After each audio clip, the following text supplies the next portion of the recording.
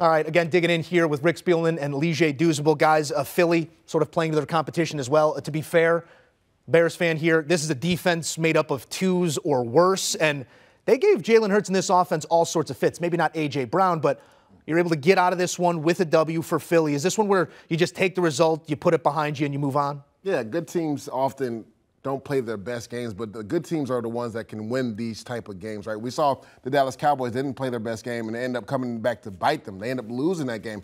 But the Philadelphia Eagles were able to get over the top and get this victory. You talked about it, Moose. This Chicago Bears defense has been much maligned this season. A lot of twos and threes on that team, a lot of rookies playing.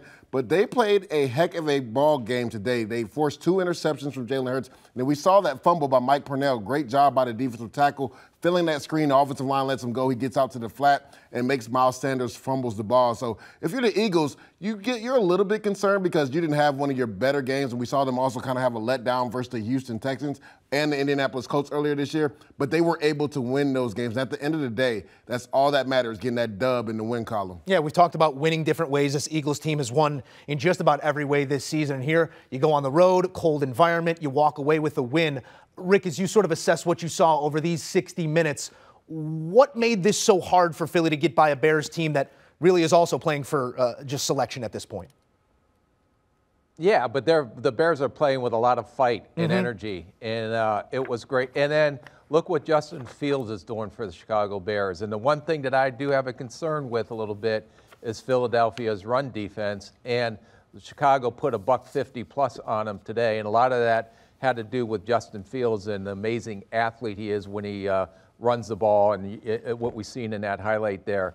But also, Justin Fields has really improved some as a passer.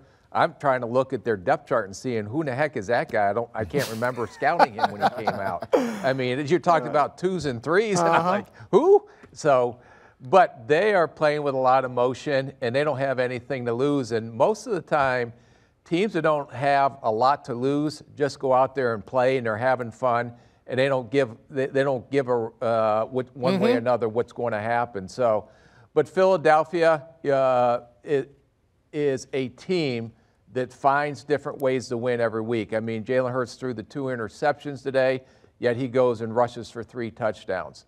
Uh, you know, you, we talk about A.J. Brown and the monster game he had. Well, don't forget about Smith and the plus 100 yards he had this game as well. So they have weapons all over the field, and they can either hurt you either running the ball or passing the ball. The biggest thing I am concerned with, and we'll find out here next week is can they stop the run? Because uh, I think the Dallas Cowboys have a pretty good run offense.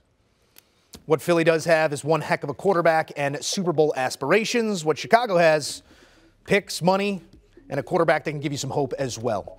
Here's a look at the day that was for Jalen Hurts. Obviously, he's going to come to the podium and tell you how he's got to clean things up. Can't have the interceptions, but 300 passing yards, three rushing touchdowns. That'll buy you a little time. Hurts with the win in Chicago.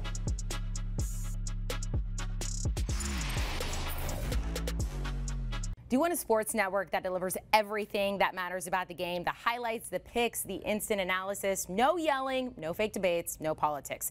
Hit the subscribe button and never miss a moment.